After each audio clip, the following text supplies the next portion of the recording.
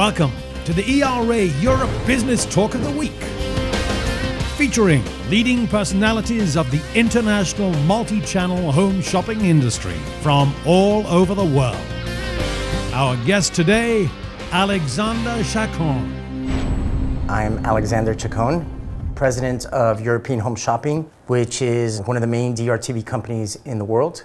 We're 22 years old and we're based in Madrid, Spain.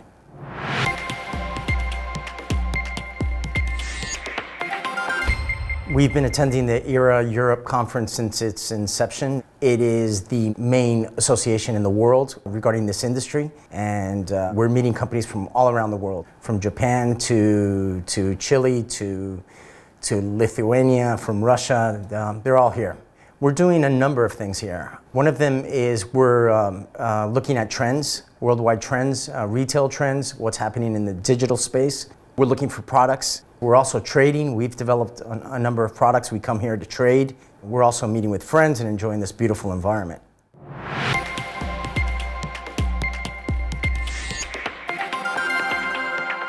We're dealing with different consumers in many markets because there's uh, different ethnicities, different cultural preferences. For example, in cooking and kitchen, we might have different, different types of products. But on the other hand, everybody wants to be fit, everybody wants to live well. So there are a lot of products that do actually transcend the different markets and different cultures. And that's the favorite things that we look for in this industry, developing great products at good prices that, that the world would love. That actually gives us a lot of great pleasure and also is, is very profitable business.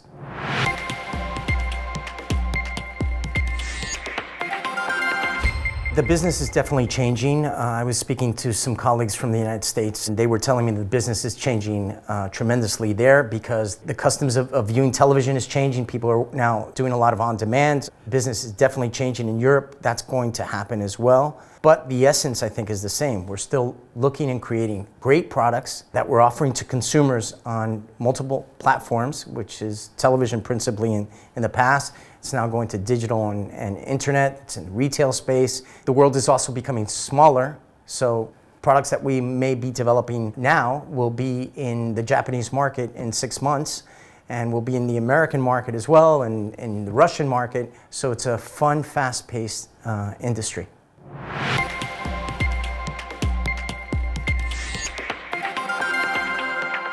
A lot of our American colleagues are constantly asking us for what are the hits here in Europe because they are desperately looking for great items. And obviously we create a lot of great items here in Europe. What's happened in the past, I think, is that the Europeans have not taken full advantage of um, selling, penetrating to the American market. And, uh, but that's, that's also changing. There's a lot of great products that are actually coming from Europe that are number one items in the United States and vice versa. I don't see that dependence on the American market. In the past, they used to say that the only infomercials that would work were American produced. And that's, that's not true. That's not true.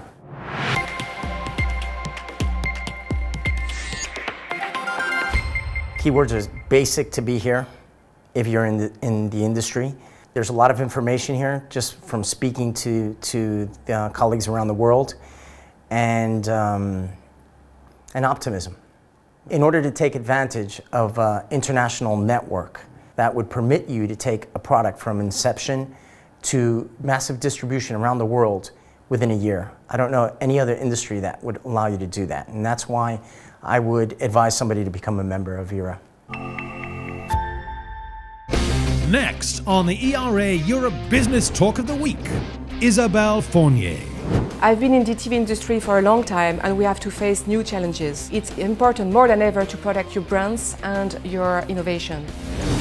Thanks for watching and see you at the Barcelona conference.